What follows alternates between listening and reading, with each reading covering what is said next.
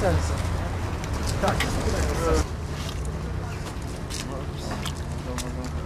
Co tu?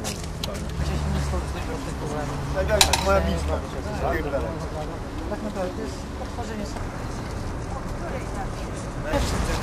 Ja przychodzę co tydzień i powiem, że bardzo dobre jedzenie. Ja biorę, ja mam starszego y, pana w domu. Tak? I to zawsze jeszcze w pojemniczek biorę. Ja mam prawie na dwa dni jedzenia, jak ja zabieram. Tu się najem i jeszcze je do domu wezmę. I bardzo dobre.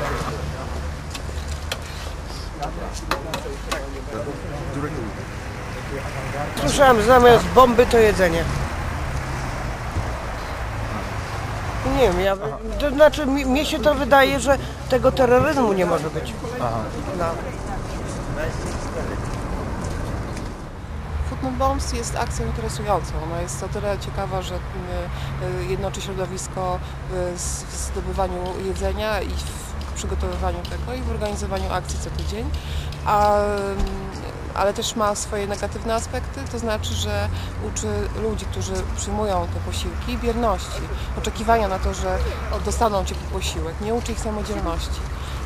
Wolałabym, bardziej by mi się wtedy ta akcja podobała, gdyby wiązało się to z tym, że mm, uczono by tych ludzi bezdomnych y, zdobywania tego jedzenia, przygotowywania go, czyli po prostu no właśnie tej samodzielności.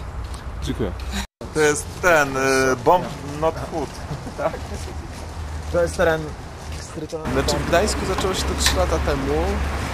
Na początku dużo ludzi było tym bardzo zainteresowanych, żeby współgotować coś, y, rozdać biednym. No, przez pierwszy rok jakoś tak się w miarę dużo osób tym interesowało, toczyło się dosyć szybko.